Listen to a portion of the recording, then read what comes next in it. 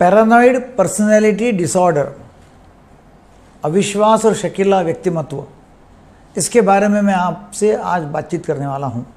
मेरा नाम है डॉक्टर दीपक केड़कर मैं मनोविकार, सेक्स रोग सम्मोहन तथा व्यसन मुक्ति तज्ञ हूँ। महाराष्ट्र में अकोला में प्रैक्टिस करता हूँ। ये जो शकीले लोग रहते हैं, इनका स्वभाव शकीला रहता है। वैसा वो पागल नहीं रहते। ये व्यक्तिमत्व जो है ना, वो शकीला व्यक्तिमत्व है। तो सात उसके क्राइटेरिया है। सात में से यदि चार क्राइटेरिया वो फुलफिल करता है सात में से चार तो वो शकीला व्यक्तिमत्व माना जाता है। या शकीला व्यक्तिमत्व है ऐसा, उसका डायग्नोसिस हम कर सकते हैं। हमारे आजू बाजू में काफ़ी लोग हम देखते हैं कि वो शकीले स्वभाव के रहते बाकी वो काम धंधा करते ड्यूटी पे जाएँगे, धंधा करेंगे, मगर उनका बार बार वो शक करते रहते कुछ ना कुछ। बाकी वो पागलपन की कोई भी निशानी उनमें होंगी नहीं। तो इनके क्या कैरेक्टरिस्टिक्स है हम देखेंगे? नंबर एक है कि उनको बार बार बार बार ऐसा लगता है कि लोग उनको धोखा दे रहे हैं और उनका गलत फ़ायदा उठा रहे नंबर एक।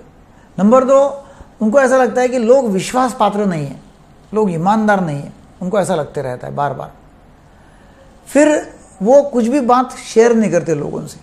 उनको ऐसा लगता है कि मैं कुछ बात शेयर करूँ मेरी ज़िंदगी की तो लोग वो सब फैला देंगे इधर उधर और उसमें से उसको नुकसान होगा। इसलिए वो सिगरेट नहीं रहेंगे, सब फैला देंगे और उसका फ़ायदा उनके खिलाफ किया जाएगा। मतलब उसका इस्तेमाल ठीक नहीं होगा। नंबर चार, जो भी कुछ लोग बोलते हैं उसका वो गलत अर्थ निकालेंगे। उनको लगता है कि ये कुछ तभी इनका इरादा है ना बराबर नहीं है। वो कुछ तभी टोच के बोल रहे हैं। ये मतलब सार्कास्टिक कमेंट कर रहे हैं। नंबर पाँच, ये लोग अपमान भूलते नहीं हैं।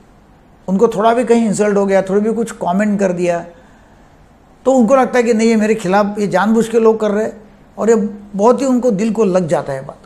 नंबर छः उनको ऐसा लगता है कि लोग उनका कैरेक्टर ख़राब कर रहे हैं। ऐसा उनको लगता है कि उनका कैरेक्टर ख़राब कर रहे हैं, उनके कैरेक्टर के ऊपर वो कुछ मतलब ऐसा उसके बारे में चर्चा कर रहे कैरेक्टर के बारे में, ऐसा उनको लगता है।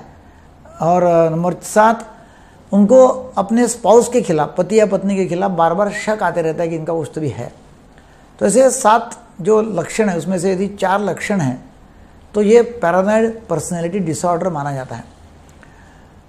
अब ये व्यक्ति काम धंधा करते रहता है, ये नौकरी करेगा, बाकी लोगों से अच्छा बर्ताव करेगा, मगर ये हरदम शक करते रहेंगे ऐसा पीछे देखते रहेंगे वो, ऐसा उनको लगता है कि कुछ तो भी हो रहा है क्या?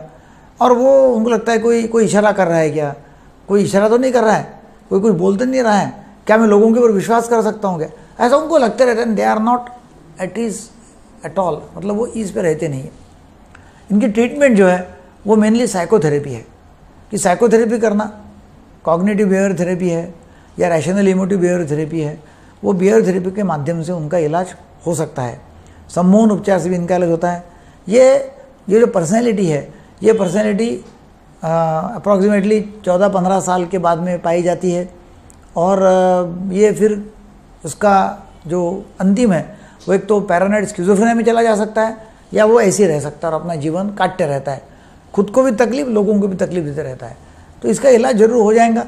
इसको ट्रीटमेंट की ज़रूरत है और मेनली साइकोथेरेपी दवाई कुछ काम में आती नहीं है। ये वीडियो ज़्यादा लोगों को फैलाओ ताकि ऐसे बहुत सारे लोग अपने समाज में हैं, मालूम रहते नहीं है। ऐसा लगता भी नहीं कि पेशेंट है, मगर बाकी लोगों को बहुत तकलीफ़ उनकी होती रहती है। तो ये वीडियो ज़रूर लोगों को शेयर करो सब्सक्राइब करो लाइक करो। हमारा जो मिशन है, वो है सबके लिए मानसिक स्वास्थ्य व्यसन मुक्त भारत। इसमें आपका भी हाथ लग जाएगा। हमारा, हमको लोग ऑनलाइन काउंसलिंग भी करते रहते हैं। हमारे यहाँ लोग आके मतलब तपास के इलाज करते हैं ऑनलाइन काउंसलिंग करते हैं, और लोग अच्छे हो जाते हैं। आप ये वीडियो लोगों को फैलाएँगे, लोगों को जानकारी होंगी, और लोग अपना जीवन अच्छी तरह से जी सकेंगे। वीडियो देखने के लिए बहुत बहुत धन्यवाद। Thank you very much